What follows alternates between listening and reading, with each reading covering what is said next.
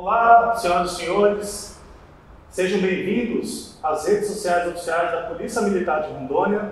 Estamos aqui hoje inaugurando um quadro especial para você que acompanha a nossa programação na TVRO TV, nosso Facebook, Instagram, Twitter, bem como as demais, os demais canais de comunicação social da Polícia Militar. Hoje estamos com uma programação especial alusiva aos 45 anos da corporação. Fique atento aí a mais uma série que se inicia na PMR Notícias. A história de um veterano.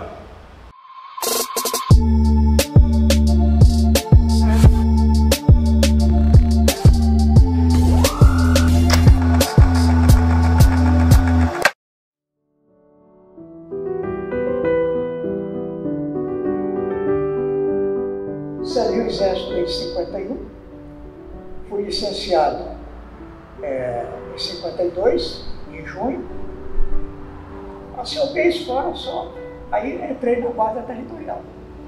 Ótimo. Como guarda referência 17.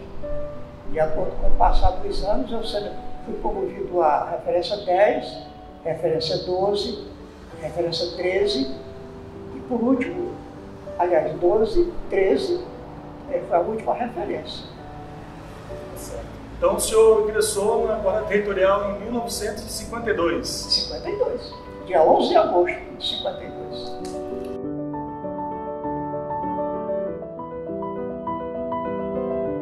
A Guarda Territorial foi criada quando foi criado o território federal do Guaporé. E 600 homens. Só que não tinha época os 600 homens, mas era, como se diz, 600 para ser é, nomeado e trabalhado. Mão de obra do governo e a força pública. Tudo que o governo precisava de mão de obra para A, B, C, D, prefeitura e outros órgãos qualquer que precisasse de apoio do governo, era a guarda territorial. 10 anos para cá, 10 para lá, 20 para cá. Então era a guarda, era tudo. Era mão de obra e quando precisava de agir é, policialmente como ostensivo, chegava um dos oficiais ou sargento e dizia assim, fulano, fulano, fulano, vamos trocar de roupa, nós temos uma missão. Agora, o máximo era uma hora para fazer tudo isso. Excelente. Porque na época era, era a construção da cidade. É, tudo, tudo era guarda. Era para ser pedreiro, ajudante, capim na rua, é, rede hidráulica, tudo era gente do picareto, abrindo. Não tinha ninguém, era só gente. Guarda. Excelente. E como é que era a estrutura da Guarda Territorial na época? Tinha também as graduações de, de soldado, a coronel? Como, como é que eram as graduações? O senhor referenciou também acerca da, da, da referencial né, de, de É. cada curso de graduação. Como é que é? Eu, eu sei que essa graduação, como realmente nós tínhamos uma banda de música muito boa, e para entrar na banda de música tinha que fazer um curso de acordo com o instrumento. E eles eram promovidos. Mas eram os únicos elementos que eram promovidos. A cabo, terceiro sargento, segundo, primeiro, viu? É, era isso aí. Mas não lembro que outros elementos da corporação tivessem, era só a referência. Viu? 17, 10, 12 e 13. E que, e que são referências conforme o pagamento, né? Isso aumentava, realmente, o pagamento aumentava.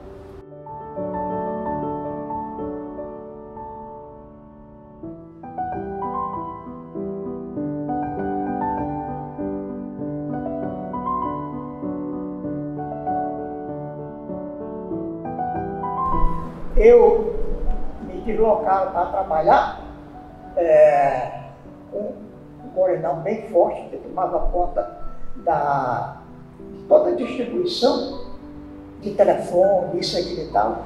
E nós tínhamos funcionando no Palácio do Governo um centro telefônico. E ele gostava muito de mim, ele disse, Pinheiro, tu vai trabalhar à noite aqui no centro e procura estudar de dia. Para você fazer uma carreira aí na Polícia Militar, na Guarda Territorial. Eu fui e fiz o ginásio no Colégio do Bosco aqui. Viu? Em 59 já terminei meu ginásio. Em 56 só tinha uma escola de datilografia, eu fiz meu curso de datilografia. Passei nisso depois de muito tempo. Aí os elementos da guarda territorial, que eram oficiais, rapaz, o Pinheiro tem um ginásio, tem curso de datilografia. Aonde eu colocar esse cara para nos ajudar aqui lá?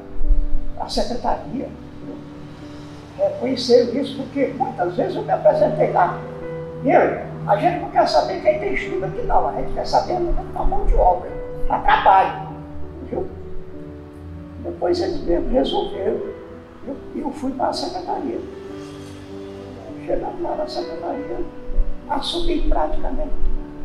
Era eu que batia o boletim, eu praticamente era o sargento diante da unidade, colocava a tropa em forma, eu apresentava superior, sabia o nome de um por um, o nome eu, da unidade.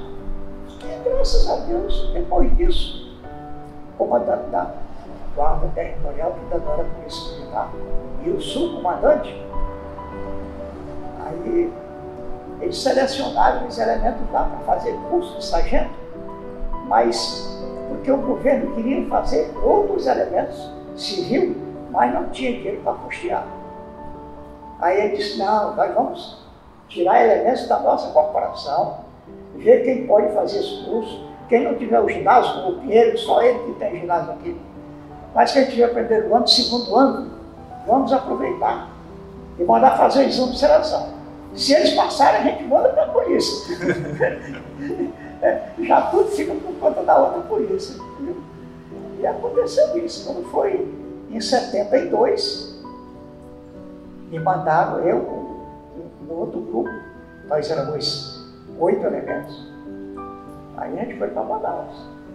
Manaus, graças a Deus, é, fomos aprovados, voltamos para cá já graduados. E aí o governo, como ainda não tinha polícia militar, e a guarda territorial, territorial não tinha esse, esse negócio de sargento, polícia militar, nem tenente, tenente tinha mais um guarda. Aí ele disse assim, vamos contratar vocês, tanto os oficiais como vocês, cada um do seu padrão. Aí vocês vão ganhar mais. Eu no contrato. Não é mais guarda territorial, não. E aí a gente contratação. Quatro anos contratado. Depois de quatro anos, a Polícia Militar aí foi realmente é, reconhecida. E aí, depois disso que a Polícia Militar foi fazer curso de carro, soldados, sargento, tudo aquilo que já começou a passar. Aí já era dentro da Polícia Militar de Militar. Essa foto. Nós vamos concluir o curso lá em Manaus. É esse grupo podia ir. Então, então essa ela aconteceu na época de 72? É, aí era, eu acho que uns 70 e poucos elementos. Viu? Eu tirei em todos décimo segundo. Décimo segundo lugar? É. De todos. Eu, é, eu tirei décimo segundo. E essa foto? Essa aí, de repente, logo após colocar a invisível, eu queria um amigo meu que era também sargento, tivesse essa foto lá. Tudo lá em Manaus. É, tudo em Manaus. Essa aqui. Esse foi o meu pai minha, que ele colocou a minha divisa.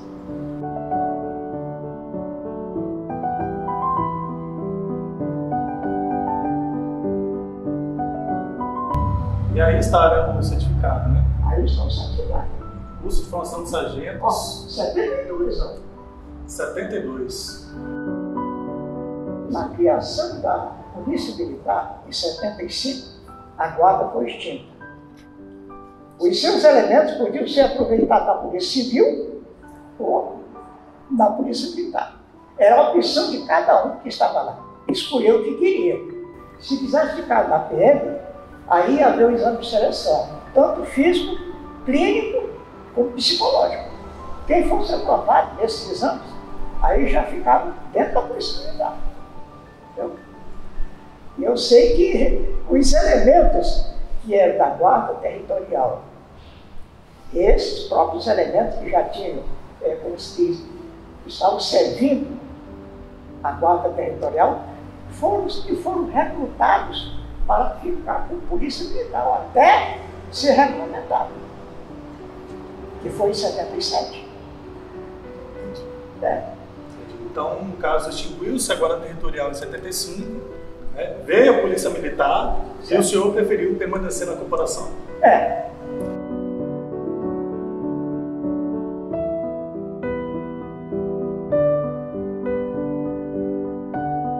Essa foto foi um dos elementos que realmente ficaram escolhidos para pertencer à Polícia Militar e foram contratados. Em 80, eu fui para São Paulo fazer esse curso de aperfeiçoamento sargento. Foi quando eles acharam que realmente eu tinha que ser segundo sargento para poder fazer o cais. Eu fui promovido imediatamente.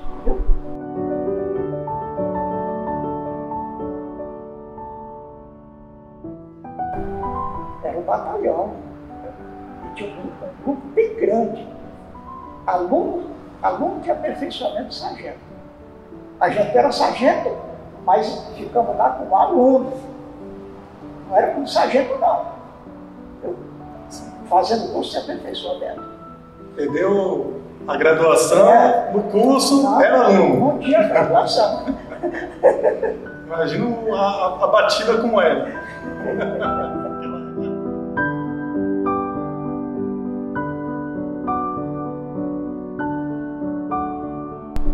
o senhor ingressou para a reserva remunerada? Ah, eu entrei para a reserva remunerada é, em 1984. 1984? É. E como é que foi a experiência do senhor para ir para a reserva? Sentiu muito a diferença Demais. da ativa? Como é que foi? Esse processo? Muitas vezes eu me acordei assim, fechado, espantado. Poxa vida, eu perdi minha hora.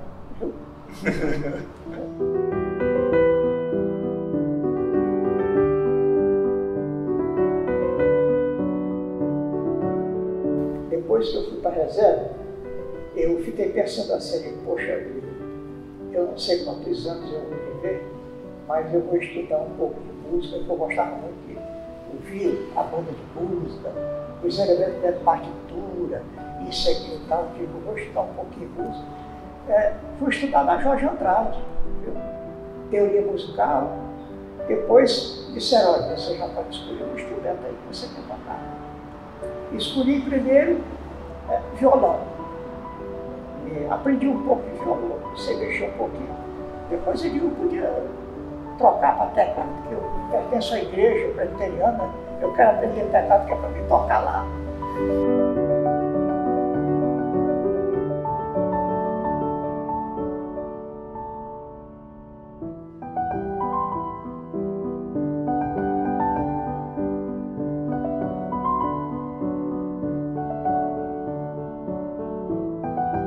Eu digo, rapaz, eu já eu vou aprender um pouquinho de inglês, e o que eu aprendi no ginásio aquelas coisinhas de dia, beijo, isso, aquilo e tal.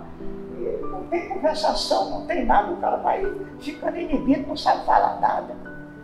Quando eu fui passear lá, rapaz, os caras falam tão rápido que eu não entendia nada.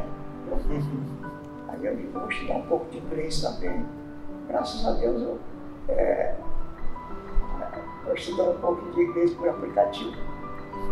Uma aulazinha me sinto tão bem, saber já um pouco, minha filha está me ensinando até como é que eu canto um parabéns para você em inglês, que ela vai fazer aniversário dia 27 de outubro agora. 27 de outubro? É, já quer que eu toque ou no teclado no violão, o inglês, o, o parabéns em inglês.